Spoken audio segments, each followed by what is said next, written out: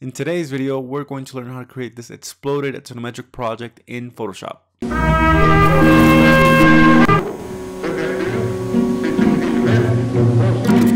Hi everyone, so first you want to open your Revit project and you want to go to your 3D view and uh, once you put it in line mode you want to use the displacement tool to move your different elements of the house. If you don't know what the displacement tool is, this is the displacement tool. So you select any element, your roof, your you know, your walls, and once you click the displacement tool, it will give you an option to move any object up, down, or sideways. So what you want to do is just move each element, you know, just like the roof, the first floor, the second floor, or, uh, you know, the whole terrain and so that it looks like an exploded axonometric view, right? Don't worry because this tool is really not going to move everything. It's just going to move it for the purpose of this view. But if you go to any other view, you will see that mm, everything is just as it is.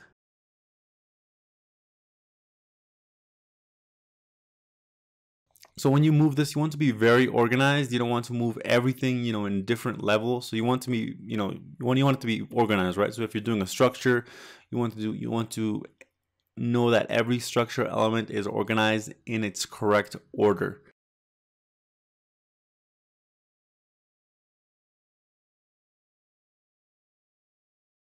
Once you do this, you want to export uh, your axonometric view as a PDF file, right? So you want to export it in a big size and we are going to open it in Photoshop where we are going to put the rest of the textures and the iconography in, right? So let's open Photoshop and we want to drag that axonometric view in and we want to create a new layer below and just create a, a white layer, fill it with white, right? Also, we want to change the canvas of the tool as usual.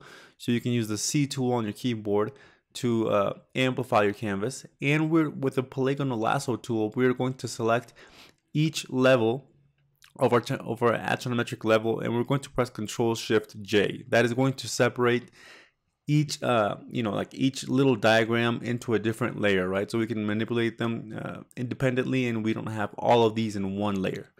Once you do this you're going i'm, I'm just going to create a new uh, copy of each diagram so we can put it on the side like in smaller compact compact version and one big zoomed in of the of the first floor so this is more or less going to be like a little presentation board that I'm going to do very quick. Uh, just take into account that I usually don't do presentation boards in InDesign. In Photoshop, I usually do them in InDesign.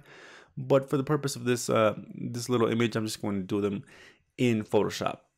So you want to create a new layer, add a blue black, a blue background, and you, we want to create uh, we're going to erase all the whites that are in the original layers, right? If you put the white below all the layers, you're going to see that there are some white fillings in between. So once you erase all the whites, you want to go to each layer and press Control I. That is going to invert the selection and make the black lines white, right?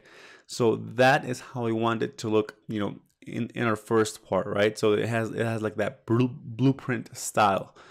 Now we are going to uh, add a color code for each element, right? So for example, uh, the, the walls are going to be white, the floors are going to be dark blue the interior wall interior walls are going to be light blue etc etc right so i'm going to select uh, for example all the walls with the polygonal lasso tool and within a new layer i'm going to color them white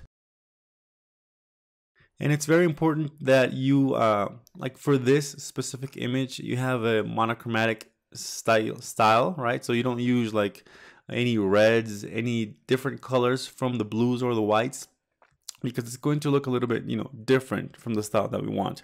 So you just want to uh, use the light blue, dark blue, white, maybe black, but just keep it very monochromatic. Now, again, with in a new layer with uh, the paint bucket tool, just the interior walls, we are going to paint them dark blue, right?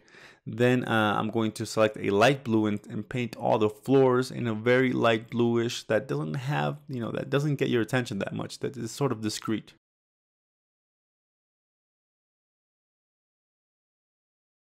And as you guys can see, it also helps a lot to have a very detailed model. So if this is a very, if, if you have a very uh, schematic model of, of your house, maybe it's not going to look as interesting. Since I'm using the, the Revit sample project, it has all the furniture, all the interior details.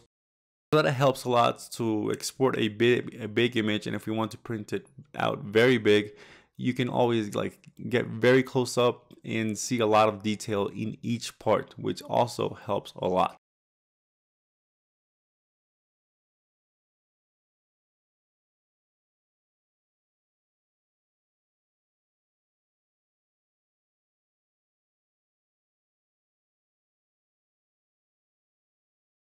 And as you guys can see, the magic in this is pretty much the, you know, the color code that you have for everything, right? I think I tried, like before uh, actually recording this video, I tried out uh, different color codes for for each element. And this one was the one that seemed to work out the most right? Because it used it seemed to make uh, the important elements just such as the wall stand out much more and it it turned out um, you know an advantage for this house specifically because it's designed in such a such a you know in such a cool way that we want to make the you know the important things stand out. So if you have uh, if if the important things are in in your walls into in your interior walls maybe in your windows or maybe in the floor you want to make that specific element white now that we're done with this we're going to i'm going to copy the the first layer the ground layer white and I'm going to you know make it a lot bigger a lot bigger and I'm just going to put it by the side.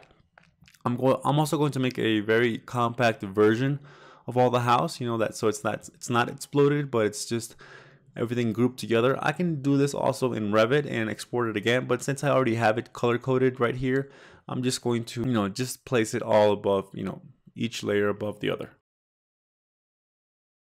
and with that, we are going to have our, uh, you know, our base image. Now we need to add the textures and the feel that uh, going to make it look a little bit grungy, a little bit, uh, you know, old fashioned. So I'm just going to look for a, a grid texture. You can do this uh, with any brushes. I have a specific grid texture brush that I downloaded from brusheezy.com or you can, uh, you know, do this with a grid image from Google. And I'm going to mask out this image and start painting in painting it in with a very uh, grungy brush right? So we don't have a perfect grid but we have a more or less imperfect grid that you know looks kind of old. It's going to give it that, that interesting look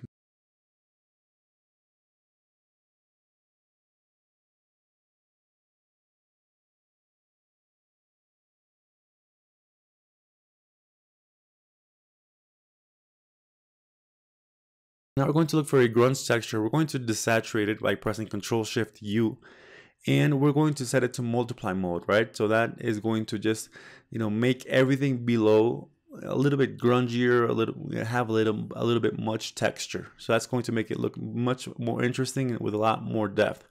Now, using the pen tool and selecting uh, these dash lines, I'm just going to create uh, some pro, you know, some projection lines uh, so we can tie all the exploded axonometric uh, to together, right? So once we do this, we want to make sure the lines aren't very thick, but they also aren't very thin, right? We just want to make them look like they're the perfect, the perfect thickness. And we also want to make them white, right? And once we do this, we can also do these uh, projection lines to the other, uh, to the compact uh, axonometric view and to the specific axonometric view.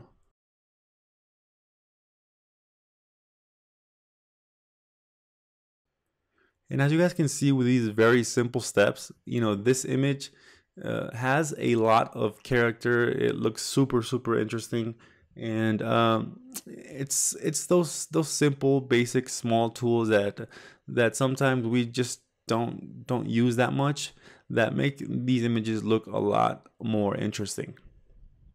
Now finally as you guys uh, always know we have to add some text to add some uh, information to each drawing. So we're going to with a you know an interesting typography. In, in this case uh, i'm using a futura uh, typography i'm just going to add a uh, a text that specifies you know which uh, which part of the axonometric view uh, corresponds to the roof, to the first floor, to the second floor, and to the terrain. I'm also going to add some brushes, some tree brushes, you know, the normal tree brushes that, that we use in our videos.